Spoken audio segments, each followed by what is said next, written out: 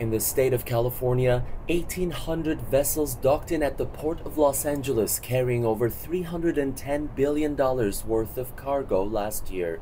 And with a new federal grant of $30 million for one of the busiest ports globally in the same state, the Port of Long Beach is inching closer to its zero carbon emissions goal by 2030. We have reduced our emissions by 90% with a goal with our net zero plan by 2030 to be the first truly net zero container terminal in the world. And I mean every bit of fossil fuels will be eliminated from this operation.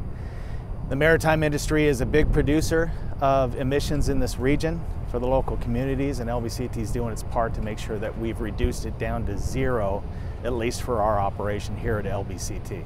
The latest investment aims to convert a fleet of 60 heavy-duty trucks from diesel to all-electric putting the port ahead of the technology curve.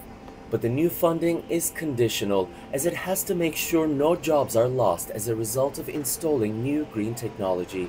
What we have here is a crane in which I have a man in the cab who's doing some of the work to and from loading and discharging the ship, but it's also going to this platform and then ultimately to an automated guided vehicle or an automated transport system, which is running autonomously. It's running on a grid of transponders that are embedded in the pavement and of course wirelessly the operating system is speaking to each vehicle, telling it where to go, what to do.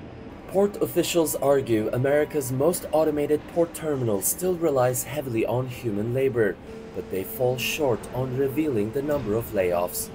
This latest makeover comes at a sensitive time for port workers who've been in the process of negotiating a new labor contract for over a year, demanding better pay and conditions. Earlier this month, a tentative labor contract was reached between the Pacific Maritime Association and the union that represents 22,000 longshore workers at 29 West Coast ports, widely seen as a critical move to ensure the port's smooth operations and to bring stability to supply chains. Nearly 40% of all imports to the United States comes through the ports of Los Angeles and Long Beach, and their operation has a direct impact on the US economy. And port authorities are compelled to strike a balance between advancing green technology and saving jobs. It is Tianshan, CGTN, Port of Los Angeles.